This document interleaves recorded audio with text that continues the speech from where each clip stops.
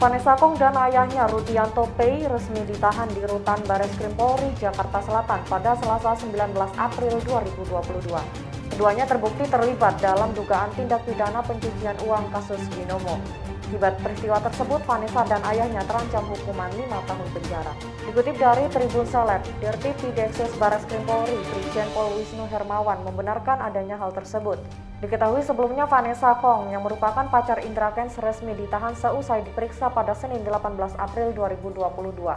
Keduanya selesai diperiksa sebagai tersangka hingga pukul 23 waktu Indonesia Barat. Seusai ditetapkan sebagai tersangka, Vanessa dan ayahnya akan ditahan hingga 20 hari ke depan. Dalam kasus tersebut, keduanya dikenakan pasal 5 dan atau pasal 10 Undang-Undang Nomor 8 Tahun 2010 junto pasal 55 ayat 1 KUHP tentang pencegahan dan pemberantasan tindak pidana pencucian uang. Mereka diduga turut menyembunyikan uang hasil kejahatan dari Indra Kents. Diketahui Vanessa Kong menerima aliran dana dari sang pacar sebesar 1,1 miliar rupiah hingga mendapatkan tanah di kawasan Tangerang Selatan senilai 7,8 miliar rupiah. Sedangkan Rudianto Pei diketahui menerima aliran dana sebesar 1,5 miliar rupiah dan membantu Indra menyamarkan hasil kejahatan dalam pembelian jam tangan mewah senilai 8 miliar rupiah. Akibat perbuatannya, Vanessa dan ayahnya terancam hukuman 5 tahun penjara atau denda paling banyak 1 miliar rupiah. Sementara itu, Indra Kents diketahui lebih dulu ditetapkan sebagai tersangka atas kasus dugaan penipuan trading melalui aplikasi Binomo.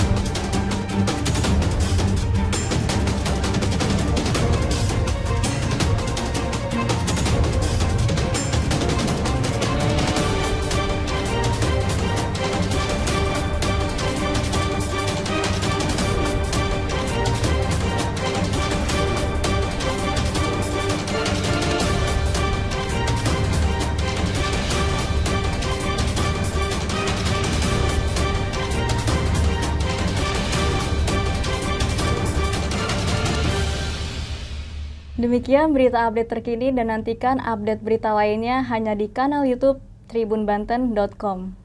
Jangan lupa subscribe, like, komen, dan share.